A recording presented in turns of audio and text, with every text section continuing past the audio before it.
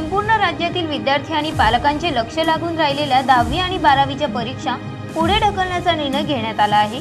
Corona संसर्गामुळे या परीक्षा पुढे ढकलण्यात येणार आहे शिक्षण मंत्री वर्षा गायकवाड यांनी ही घोषणा केली. तीनशे पंच्याऐंशी दिवसातही कोरोना विरुद्ध युद्ध जिंकता आलेलं नाही.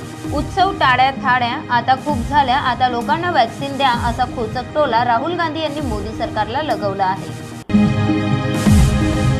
भारतात आणखी एका लसीला परवानगी मिळाली. स्पुटनिक व्ही या लसीला भारत सरकारने आता परवानगी दिली आहे. आता स्पुटनिक व्ही ही लस भारतीयांना दिली जाणार आहे. ही तिसरी लस देखील काही दिवसांनी भारतीयांना दिली जाणार आहे. लॉकडाऊन संदर्भातली तयारी सुरू झाली आहे. आरोग्यमंत्री राजेश टोपे यांची महत्त्वाची माहिती सर्वसामान्यांना कशी मदत करायची हे मुख्यमंत्री आणि उपमुख्यमंत्री ठरवतील अशी ही माहिती राजेश टोपे यांनी दिली.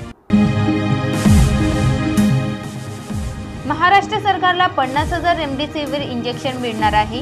भाजपची गुजरातमधून मोठी घोषणा रेमडेसिवीरसाठी भाजप नेते दमणमध्ये दाखल आजकाल बाहेर गर्दीत जाऊन चिकन खरेदी करणे म्हणजे मोठी रिस्क आहे यार. अरे चिकन खायचं आहे मग टेन्शन कशाला घेतो? बोला चिकन आहे ना. बोला चिकन? आपल्या जळगावचे आपले ऍप आहे जे चिकनची पूर्ण हायजीन पाळून डिलिव्हरी करतात. अ- अरे वा म्हणजे बाहेर जायची आणि कोरोनाचं टेन्शन घ्यायची गरजच नाहीये. हो बोला चिकन ऍप आत्ताच प्ले स्टोर वरून डाउनलोड कर आणि चिकन ऑर्डर कर. बोला चिकन डाउनलोड करा. चिकनची फ्री डिलिव्हरी मिळवा.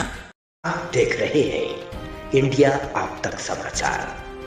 सच्चाई से गहराई तक खबर पहुंचाए आप तक।